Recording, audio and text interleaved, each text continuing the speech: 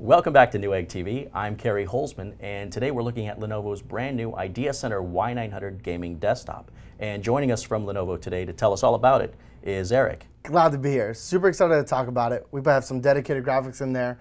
We have dual hard drives. We're hitting that DDR4 memory. This is really going to shake gamers up.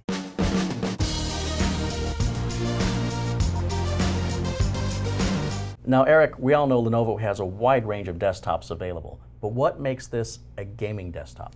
Glad you asked. Dedicated graphics from the beginning. Gotta have that. Dual hard drive. Gotta have that. DDR4 memory. Taking it to the next level. We want gamers to know we're serious about this and it's really gonna be a home run rig. You build computers, right? Yes. And you use tools, right? Got to use tools. All right. So what we added, because we all know how frustrating is, you know, you get new memory, you want to put it in. Tool-free expandability. Slide this little lever over, push down the back button, hold side panel, pops right on off. So you're saying I can completely disassemble the system without any tools? Okay, okay. We all know motherboards are screwed in by screws and everything, all right? So let's not get too picky on it. Okay. But the concept of it is that you're able to easily slide off your panel. You got to you want to CO2 it out, clean it. You don't have to worry about unscrewing the back screws of most cases. So in other words, uh, things like uh, upgrading the video card, very easy, upgrading or adding Correct. hard drives, all that you can do without a screwdriver. Now, before we started filming, I had an opportunity to play with the system a little bit, and I did verify that inside of the computer, the components are all industry standard modular components. None of the proprietary stuff that we're accustomed to on a lot of pre-built gaming machines. Correct. So, message to Lenovo, thank you.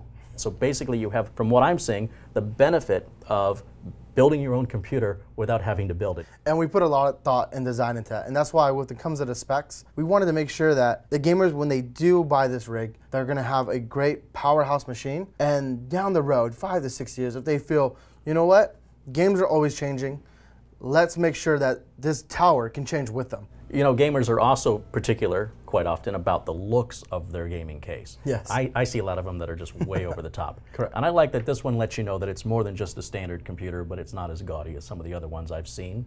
But I understand there's more to it than just the looks. Correct. We actually put a lot of thought and innovation in the design of this case.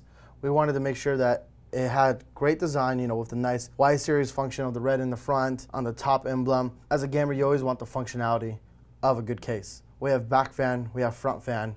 The side panel has ventilation on the side right by the GPU. You know, those are all important things we wanted to make sure. Um, cooling is an important part of the gaming industry. We have dust air filters on the bottom under the power supply. We have another dust filter in the front covering the front fans. I mean, we wanted to make it aesthetically pleasing, but we wanted to keep the functionality. You know, one of the things that I noticed when I was moving the computer earlier is that it's a bit heavier than it looks. And in my line of work, that generally equates to quality. In other words, uh, a heavy power supply in general is of better quality than, say, Correct. a featherweight power supply. Yeah, well, when we built it, we wanted to make sure it was solid. We put a good case on it, and I feel gamers are really gonna love that. Now, we know the case makes up some of that weight, but let's talk about what's inside. Glad you asked my favorite part. So we are running NVIDIA GeForce GTX graphics cards. You have the 970 and the 980. All right, then we also have the 6700 and the 6700K from Intel 6th gen Skylake processors. Oh, that's their top of the line processor. Correct, the 6700K is running at 4.0 gigahertz and can overclock. We're running 8 gig DDR4, and then you also have a version of going 16 gig DDR4, And it's upgradable to 64 gigs. We are running dual hard drives. You have the option of getting a 2 terabyte mechanical, and then the solid state you're going from a 120 or a 256. if I want to add another video card and run it in SLI, can I do it with this rig? Absolutely. You definitely can run SLI on this rig. That's what I want to hear. I think every gamer wants to hear that too. All right, now I want to talk about this keyboard and mouse that you've brought along. These are sold separately? Uh, yes, they are, but they come with the Y900. Oh, they're included. Correct.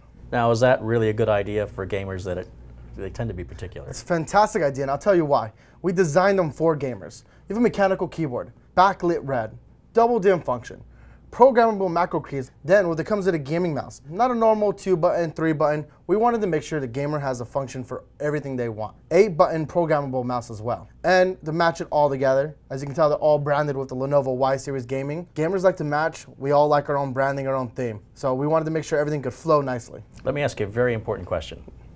Can you put weights in that mouse to adjust it to customize the need of the gamer? I wasn't sure if you saw that when we were setting everything up, but yes, it does come with weights, so the gamer can actually adjust the weight of the mouse and feel how they like to feel of it sliding on their mouse pad. All right, I love that they didn't just throw a cheap keyboard and mouse in. You actually went with a real gaming quality keyboard and mouse. Well, Phil, if you're going to buy a real gaming rig, you deserve some real gaming keyboard and mouse peripherals with it. It just sounds like a great all-in-one solution for somebody who, look, I talk to a lot of people that say, I don't want to know how to fix my car, I just want to know where the gas goes, right? Exactly. So there's gamers, they don't want to build their own rig, they don't want to have to go shopping for all these different thousands of options. Correct. You get something called parallelization through analyzation, there's just too many choices. But you don't want to have just something you're going to get made fun of or, or isn't going to do the job or it's going to break because it's not up to the abuse that it's going to take in gaming, right? Yes, and, exactly. and so these these really look like top quality gaming components here. And that was really our objective for it. You know, talk is cheap. So how does this thing really perform? Well, as I mentioned earlier, I ran some benchmarks on it, and it actually performed very respectfully. Here are the results.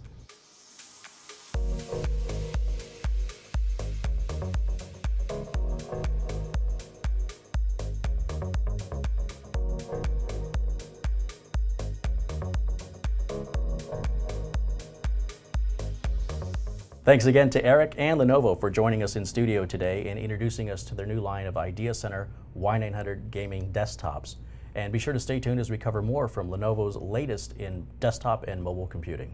Please remember to click like and subscribe, and for more great content, be sure and check out our new video shopping platform at newegg.tv. I'm Carey Holzman, and I'll see you next time.